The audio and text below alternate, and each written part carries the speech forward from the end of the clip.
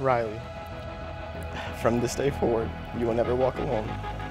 You're forever my best friend, my soulmate, my life, today, and always. You've shown me a kind of love that I could have never imagined. I can't wait to see what the future has in store for us. Christopher you may now kiss your bride.